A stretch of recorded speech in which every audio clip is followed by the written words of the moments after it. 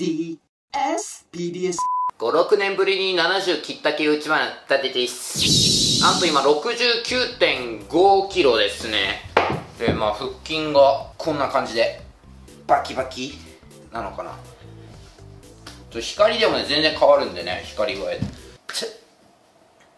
でもなんかね皮膚の質感がねなんかね変わってきたような気がするんだよね。って感じでバキバキどう70切ったってことなんでねケラそうはい、ケラそうめんね、パッと聞いたらね、何のご飯だろうって思うじゃないですか。違うんすよ。あの、スイーツなんですよね。すごい。僕もね、今まで知らなかったんですけど、えー、ポルトガル伝来ですね。日本ではケーラーそうめん1本入りね、1620円で売ってたりとか、すごい高級品なんですよ。なんかシンプルになりまくると、こう、高くなる系統がありますよね。うん、すごい。卵5個割ります。ほら。なんか黄身ちっちゃいな。安いやつだからか。では黄身だけ取ります。白身はねもう減量なんでめっちゃ助かりますね。では黄身をね下ごしらえします。おりゃ。よしこんな感じかね。5個なのにちょっと少ねえ気がするな。はい砂糖 600g に対して800の水を入れます。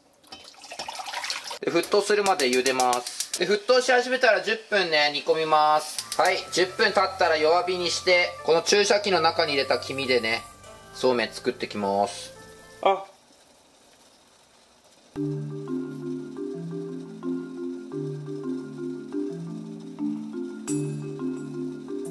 おおいい感じじゃない？これでちょっと強火にしてみましょう。では揚げます。うん。全然麺っぽくないな。ちょっともうちょっと頑張るでもそれっぽくなってますね。もっと麺々っぽくしたいね。ちょっと強火の方がいいかもね。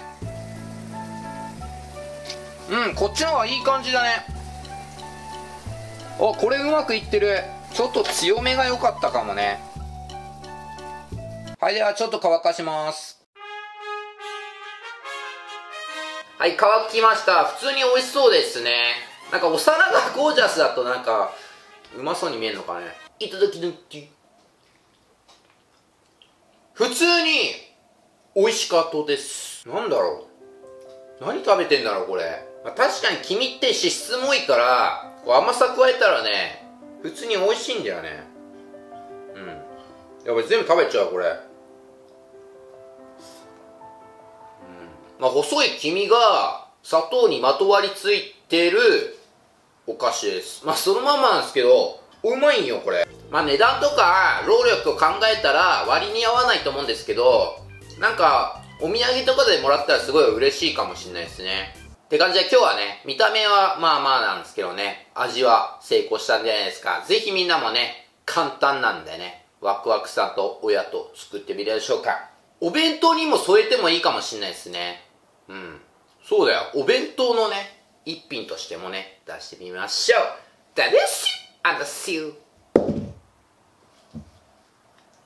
うん。やばい、太るな、これ。PDS 株式会社。チャンネル登録、よろしく、よろしく、よろしくな。動画のグッドボタンもお願いしますよ。おいしょ。チャンポンキンポン。光やつも日記2週間目ですね。さあ、どうでしょうか？うーん。俺でもここら辺なんか少ない、ああ、でも少ないか。まだわからんですね。はい、コメントにもあったんですけど、やっぱね、反ってからじゃないと効果が薄いっていうね、あの、意見があったんで、ちょっと反っていきます。でもこれ比較するんだったら両方ちゃんと剃った方がいいよね。両方ちゃんと剃るんですけど、光脱毛は片方だけ。では右足やります。レベル10です。